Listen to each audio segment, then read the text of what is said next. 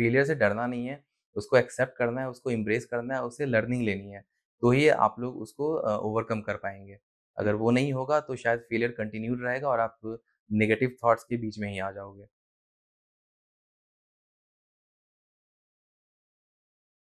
Hi everyone, welcome to another episode of RBI Interview Series 2022. आज मेरे साथ हैं Roshan Kumar Ghiriya who has cleared RBI 2022 in his third attempt.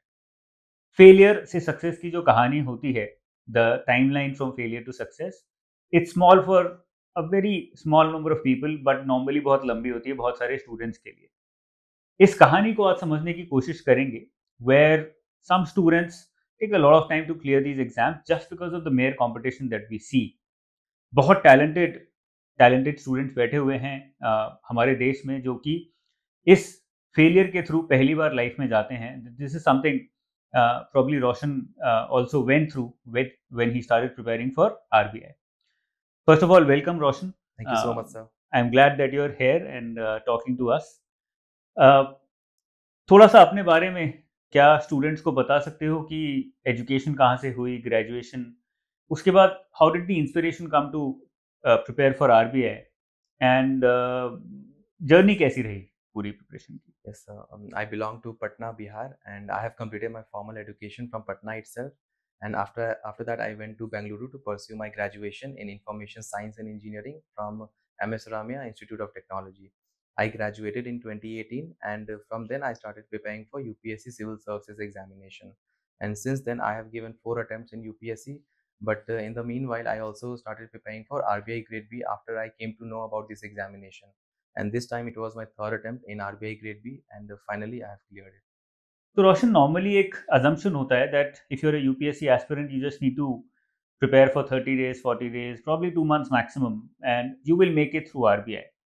That's what we see all around क्या इसमें सच्चाई है क्या तुमने ये फेस किया and then you corrected it yourself Uh, so after I gave four attempts in UPSC Civil Services examination, I came to realize that there is a time now to shift for other best alternatives. So uh, I this time I prepared solely for RBI Grade B, but somehow I realized that कि uh, UPSC preparation आपका एक foundation ज़रूर create करती है, but आपको हर exam को एक specific time देना होता है जो specific effort वो एग्ज़ाम demand करती है.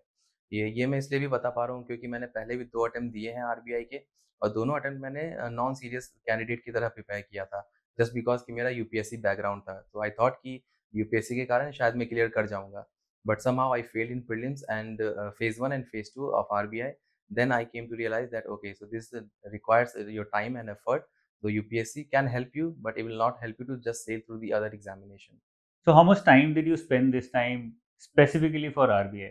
Uh, the notification for RBI this time came in uh, March, I think, and I started preparing for RBI since 1st of Feb. So, uh, mm, like it was four month preparation for prelims and five to six months for phase two. Hmm. phase one and phase two. तो phase one और phase two दोनों की तैयारी you started in yes, Feb itself. Yes sir. तो काफ़ी लंबी preparation थी ऐसा नहीं था कि एक महीने पढ़े दो महीने पढ़े और निकाल लिया सर एज आई सेट क्योंकि इस एग्ज़ाम की अपनी डिमांड थी और पहले भी मैं दो बार फेल हो चुका था इसमें तो this time I thought of giving its time and effort which it required so I completely dedicated myself towards it तो फरवरी फ़र्स्ट से you started your preparation what was your structure of preparation like how did you go forward with it क्या आपने किया और क्या आपने नहीं किया? ISVAR uh, yes, when you started preparing? Uh, after I completed my uh, mains in January 2022 for UPSC, I thought of giving my complete dedication to RBI this time, and for that I purchased your course in January. And since then, I was following uh, your course uh, blindly. Whatever you said, I followed it. So uh, for the phase phase one, uh, if I can say, I followed the structure where I did not give any specific preparation for English because I was preparing for UPSC and I was reading newspaper daily. तो newspaper कहीं ना कहीं उसको cover कर लिया था। General awareness UPSC के लिए बहुत पढ़ा था बट जो क्वेश्चंस होते हैं यूपीएससी में वो बहुत एनालिटिकल होते हैं और आरबीआई में बहुत फैक्चुअल होते हैं। तो यहाँ पे मुझे हेल्प की ज़रूरत थी तो वहाँ पे मैंने आपके स्पॉटलाइट मैगजीन को पढ़ा था और लगभग चार से छः महीने को कवर किया था, बहुत बार मल्टीपल रिविजन किया था।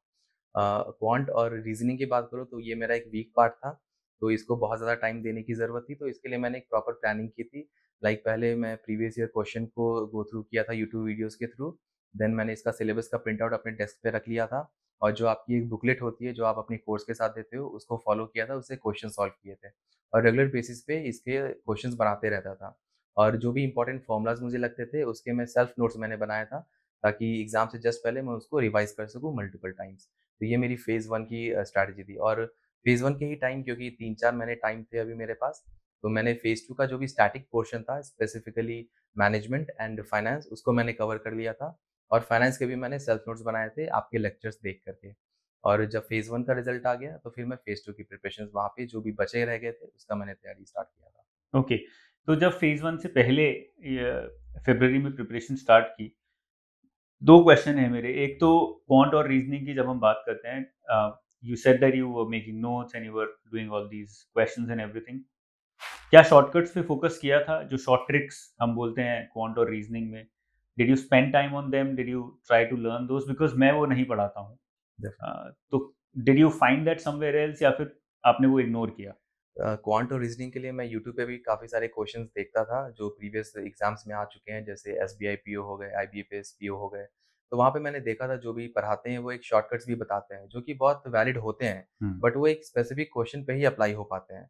तो अगर आप उसकी तरफ़ जाते हो तो बहुत सारे शॉर्ट ट्रिक्स आपको याद करने पड़ेंगे। तो बहुत ज़्यादा फॉर्मूलाज आपको याद करने पड़ेंगे जिसके कारण जो आपकी मेहनत है वो और ज़्यादा बढ़ जाएगी। तो मैंने उन पर फोकस नहीं किया था। जो भी स्ट्रक्चर्ड होते हैं क्वेश्चंस के उसको सॉल्व करने के जो पैटर्न होते हैं जो बेसिक स्टैंडर्ड फॉर्मूलाज होते हैं उनको फॉलो किया था क्योंकि बैक ऑफ़ द माइंड मेरे दिमाग में ये भी था कि मुझे सिर्फ़ कट ऑफ़ क्लियर करना है क्वांट और रीजनिंग का। इट डजेंट मैटर कि मैं 25 में या 30 में 30 ले आऊँ या 60 में 60 ले आऊँ जस्ट कट ऑफ़ क्लियर करना है। और जो मेरा स्ट्रॉन्ग पार्ट था जीए और इंग्लिश उसमें मार्क्स ला करके ओवरऑल कट ऑफ़ को क्लियर करना है। क्योंकि फ़ेज़ वन के मार्क्स आपके फाइनल लिस्ट में जुड़ते भी नहीं है। तो यही मेरी स्ट्रैटेजी थी। मैंने स्टैंडर्ड फॉर्मूलाज को फॉलो किया था।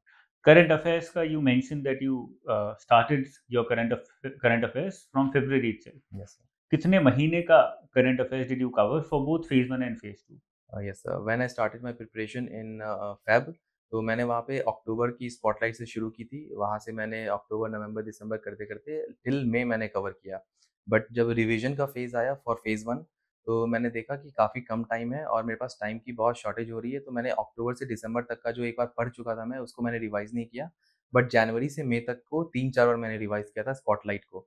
और क्योंकि न्यूज़पेपर भी मैं रेगुलरली पढ़ता था तो वो भी एक बैक ऑफ़ द माइंड कहीं ना कहीं स्टोर था वो इन्फॉर्मेशन बट मैंने स्पॉटलाइट को ज़्यादा ध्यान दिया था और उसके छः महीने तक मैंने बनाए थे और जो भी इंपॉर्टेंट इन्फॉर्मेशन थे उसको मैं खुद ही एडिट करके उसको अंडरलाइन कर लेता था और उसके सेल्फ नोट्स नहीं बनाए थे। hmm. वो खुद ही एक कंपाइलेशन है तो that was sufficient and what about phase two? For phase two again newspaper हमेशा से रहा था और फ़ेज़ टू में मैनेजमेंट बहुत स्टैटिक है उसमें करंट अफेयर्स कुछ भी नहीं होता है। uh, जो फाइनेंस होती है उसमें एक स्टैटिक और डायनेमिक दोनों कंबाइंड है।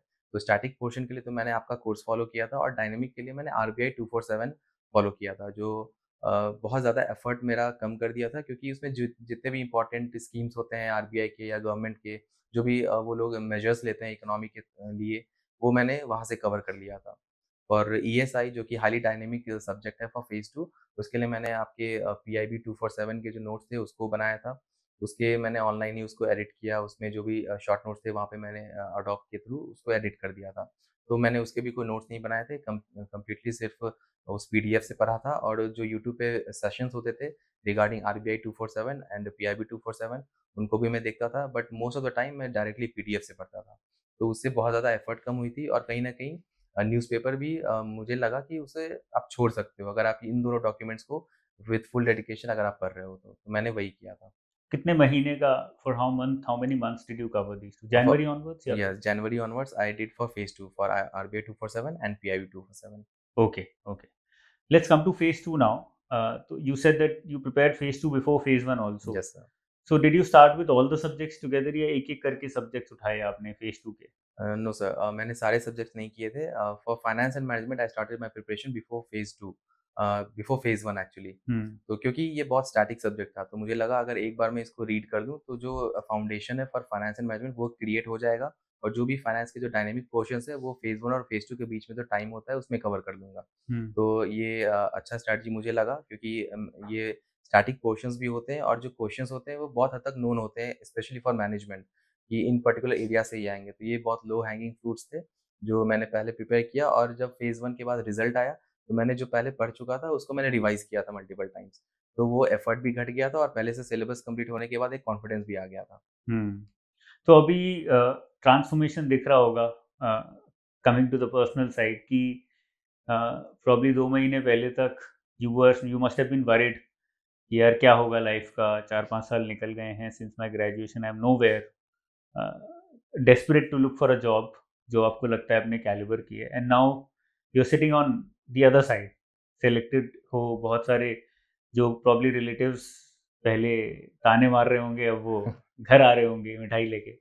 So how does it feel मतलब एक खुद को और अपने फैमिली वालों को प्राइड तो होता ही है बट अदरवाइज़ और क्या क्या फीलिंग्स हैं जो इम्पोर्टेंट हैं?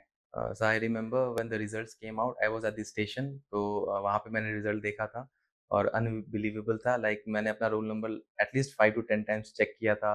कि एक्चुअली ये मेरा ही रोल नंबर है। कहीं ना कहीं एक एक्सपेक्टेशन हमेशा होती है कि आप उस लिस्ट में अपना रोल नंबर देखना चाहते हो। बट एक डर भी होता है कि अगर नहीं होगा तो फिर क्या करेंगे? बट फाइनली जब मैंने देखा था तो बहुत खुशी हुई थी और वो फीलिंग डिस्क्राइब करना बहुत मुश्किल है सर वो बहुत ओवरवेलमिंग होती है, बहुत हैप्पीनेस बहुत सारे इमोशंस अचानक से आपके पास आ जाते हैं। लाइक आप सोचने लगते हो कि आप पिछले चार साल से आपने जितना भी कुछ किया है, जो भी सेक्रीफाइसेस दिए हैं, जो भी एफर्ट्स डाला है, वो आपको सब सही लगने लगता है। वर्थ इट लगने लगता है जो आप शायद उस मोमेंट से पहले अपने आप को क्रिटिसाइज कर रहे होते हो कि आपने ये डिसीज़न लिया। जैसे मैंने यूपीएससी का डिसीज़न लिया क्या वो सही था गलत था मैं स्टेबल नहीं हूँ जॉब नहीं है सभी लोग खुश हैं शायद मेरा क्या होगा रिज़ल्ट नहीं निकलेगा तो क्या होगा? बट अचानक से वो रिज़ल्ट आया और सब कुछ चेंज हो गया। तो वो फीलिंग डिस्क्राइब करना सर बहुत मुश्किल है वो बस फील किया जा सकता है जो मैंने उस दिन किया था। I am very happy to have learn that because जो फीलिंग शब्दों में ना बोली जा सके that's a different feeling all sir if it can be described in words then I think it's very shallow itself coming to the last question about interview how was the interview what kind of questions were asked you told me that it was very unpredictable yes you were expecting something else तो वो unpredictability क्या थी? Actually for RBI RBI interview I realized that uh, I fear this interview the most because for two मैंने अपना last interview चार साल पहले दिया था तो काफ़ी टाइम हो गए थे। और दूसरा कहीं ना कहीं एक परसेप्शन था लोगों में कि जो आर के इंटरव्यूज़ होते हैं, वो बहुत अनप्रडिक्टेबल होते हैं, इन द सेंस कि वहाँ पे मार्क्स के वेरिएशन बहुत ज़्यादा होते हैं। Like someone can get even two और थ्री मार्क्स और as high as seventy three and seventy four marks. तो वो रीज़न मुझे कहीं ना कहीं पता नहीं था कि एक्चुअली ऐसा क्यों हो रहा है। बिकॉज़ आई थॉट कि जो भी फ़ेज़ टू क्लियर करते हैं, उनमें इतनी कैलिबर तो है कि वो एक अच्छे मार्क्स स्कोर कर सकें इंटरव्यू में। बट अगर उनको भी अगर दो या तीन नंबर मांग मिल रहे हैं, जो कि इतने सालों से प्रिपेयर कर रहे हैं तो मैं कहाँ स्टैंड करूँगा? तो इस फियर के साथ मैंने अपना इंटरव्यू का प्रिपरेशन स्टार्ट किया था। इंटरव्यू के लिए मैंने फिर से न्यूज़पेपर पे फोकस डाला था। जो भी जो क्वेश्चंस हो सकते हैं इंटरव्यू में, लाइक अगर मैं इंटरव्यूअर होता तो मैं क्या क्वेश्चंस पूछता? उस तरीके से मैंने न्यूज़ को पढ़ा और जो भी इंपॉर्टेंट मुझे लगा, मैंने उसके सिंगल लाइनर नोट्स बनाए थे फॉर इंटरव्यू स्पेसिफिकली। वो पंद्रह से बीस पेजेस के नोट्स थे, जो मुझे इंटरव्यू में काफ़ी काम भी आए थे क्योंकि almost five to six questions वहाँ से डायरेक्टली पूछे गए थे। और मैंने सोचा था इंटरव्यू में कि बहुत ज़्यादा टेक्निकल नहीं होगा, क्योंकि मेरा वैसा कोई बैकग्राउंड नहीं था बैंकिंग में और मेरा गैप काफ़ी ज़्यादा था बिकॉज़ ऑफ़ यूपीएससी तो आई थॉट कि इन सब चीज़ों पे क्वेश्चंस होंगे for you for my hobbies and interest तो मैं ये सोच के गया था बट वहाँ पे इंटरव्यूअर्स ने कोई भी ऐसा क्वेश्चन नहीं पूछा और सिर्फ़ टेक्निकल क्वेश्चन थे जो मैंने एक्सपेक्ट नहीं किया था। Like they were demanding the standard definition for any question like NBFCs, the FX retail. They also asked me question about the uh, various documents released by the RBI, like the payment vision document of 2025. Uh, there was a ma'am who asked me about the inflation number of US. तो बहुत factual था like standard definition वो expect कर रहे थे और क्योंकि मैंने जो नोट्स बनाए थे उसमें मैंने स्टैंडर्ड डेफिनेशन को ही यूज़ किया था तो वो मैंने वहाँ पे रिप्रोड्यूस किया था but still after the interview कहीं ना कहीं मेरे मन में था कि जो क्वेश्चन मैंने एक्सपेक्ट किए थे वो क्वेश्चंस नहीं आए हैं तो मैं सोच रहा था कि शायद मेरा सिलेक्शन नहीं होगा। क्यों वो मेरे में इंटरेस्टेड नहीं थे बस उन्होंने क्वेश्चन पूछा है और ख़त्म कर दिया है। But finally I got selected so whatever I thought it was not true तो मतलब यहाँ से पता लगता है even if you don't belong to finance background आपको वो बेसिक नॉलेज होनी ही चाहिए। Definitely sir specially standard definitions जो होते हैं जो बेसिक टर्म्स के जैसे उन्होंने मुझसे एन के बारे में पूछा था तो उसके स्टैंडर्ड डेफिनेशन एक्सपेक्ट करते हैं वो कि आपको पता होनी चाहिए क्योंकि ये बहुत बेसिक क्वेश्चन है। अगर उसके बीच में जनरल आंसर देता तो शायद मैं यहाँ नहीं बैठा होता। Right right anything specifically that you would want to share with the students क्योंकि तुम्हारी फेलियर से सक्सेस की जर्नी काफ़ी लंबी रही है काफ़ी स्ट्रेसफुल रही है। तो कुछ ऐसी चीज़ जो बताना चाहो something that you gone through something that you want कि एस्पिरेंट्स को पता होनी चाहिए जिससे कि उनकी जर्नी छोटी हो सके। Definitely sir like my preparation has been for four years now and इस बीच में बहुत सारे मैंने एग्ज़ाम दिए बहुत फेलियर्स फेस किया है। लाइक यूपीएससी मैंने चार बार दिए अभी तक वो क्लियर नहीं हुआ। आर बी आई भी ये मेरा तीसरा अटैम्प्ट था दो बार इसके पहले फेल हो चुका हूँ। तो फेलियर के साथ बहुत क्लोज uh, रिलेशन रहा है मेरा। तो मैंने ये नोटिस uh, किया है कि जो भी कैंडिडेट्स होते हैं वो कहीं ना कहीं फेल फेलियर को उनको एक्सपेक्ट करना चाहिए। क्योंकि आप जितना फेलियर आप आता है आपकी ज़िंदगी में आप उतने ज़्यादा स्ट्रांग बनते जाते हो। और आप अगर उस फेलियर से इम्प्रूव करते हो तो फाइनली जो भी आपने गोल लिया है अपने लिए वो आप एक ना एक दिन ज़रूर उसको आ, मिलेगा आपको। तो फेलियर से डरना नहीं है उसको एक्सेप्ट करना है उसको इम्ब्रेस करना है उससे लर्निंग लेनी है तो ही आप लोग उसको ओवरकम कर पाएँगे। अगर वो नहीं होगा तो शायद फेलियर कंटिन्यूड रहेगा और आप नेगेटिव थॉट्स के बीच में ही आ जाओगे। अपने आप को पॉजिटिव रखना है मोटिवेशन अंदर ढूंढना है ना कि बाहर ढूंढना है और बस करते जाना है। एक ना एक दिन ज़रूर होगा और अपने आप पे विश्वास रखना है। और मैंने एक चीज़ और भी की थी लाइक इस बार आरबीआई में जब भी मैंने फ़ेज़ वन दिया फ़ेज़ टू दिया और इंटरव्यू दिया तो after phase one I did not expect कि मैं मेरा होगा क्योंकि इस बार भी क्वेश्चन बा, बाकी काफ़ी डिफ़िकल्ट थे। तो after examination I just stood by the mirror and ask myself कि क्या मैंने इस प्रिपरेशन से जस्टिस किया है?